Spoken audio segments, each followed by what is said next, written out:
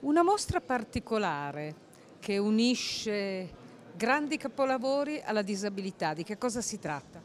Più che una mostra è proprio un progetto, è un progetto che eh, vuole proprio sottolineare il tema eh, dell'arte come inclusiva. Eh, in questa mostra infatti Adamo Antonacci ha eh, reso protagonisti dei ragazzi con disabilità creando dei tableau vivant e facendoli recitare come attori principali, i ragazzi e le loro famiglie.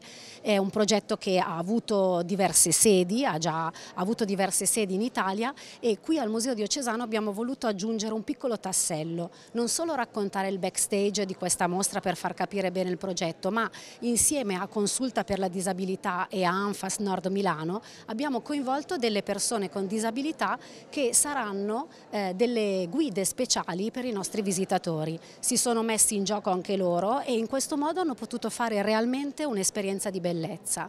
E noi pensiamo proprio che il punto sia questo, eh, tutti noi partiamo da un grande desiderio che abbiamo nel cuore, di bellezza, di senso e vedere all'opera questi ragazzi illustrare come hanno fatto nelle prove generali eh, ai visitatori appunto il senso di queste opere è davvero un'esperienza incredibile che sono felice di poter condividere con tutti. Qual è il significato di questa mostra e come unire disabilità a grandi capolavori? Allora, il significato della mostra è che solo attraverso gli ultimi è possibile vedere e scorgere Dio, scoprire Dio.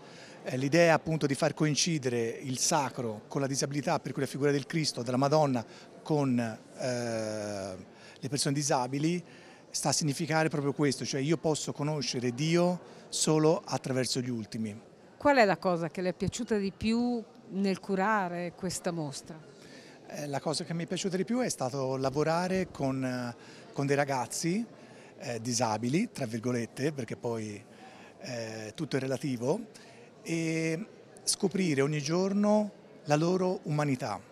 E non soltanto attraverso di me, ma anche attraverso lo staff. Eh, avevo dei colleghi che non avevano mai lavorato con ragazzi disabili e per cui non erano abituati al loro contatto visivo, al loro contatto fisico, agli abbracci, ai baci.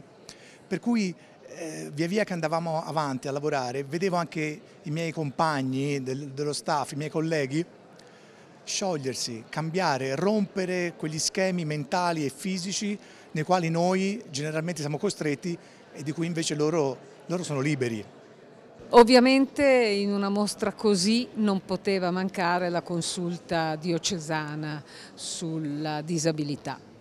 Assolutamente sì, abbiamo voluto fortemente questa mostra dal momento che abbiamo conosciuto giugno scorso Adamo e subito abbiamo visto una possibilità per come consulta entrare anche in un mondo in cui non avevamo ancora avuto a che fare che è il mondo dell'arte perché costituisce io credo anzitutto anche questo ambito una possibilità per le persone con disabilità nel senso che le persone con disabilità hanno anche desideri, passioni e c'è gente, e lo dimostrerà anche questa mostra, visto che alcuni ragazzi con disabilità faranno da guide, che possono avere delle passioni da coltivare. E poi eh, attraverso il linguaggio dell'arte vogliamo lanciare nuovamente il messaggio che è il medesimo, il, sempre quello di tentativo di cambiare una cultura, uno sguardo sulle persone con disabilità, ma questa volta non lo facciamo con convegni, non lo facciamo con argomentazioni, con discussioni, lo facciamo con delle immagini bellissime che hanno come protagonisti ragazzi con disabilità e non si può spiegare una mostra, bisogna venire a vederla, assolutamente. E noi la vediamo.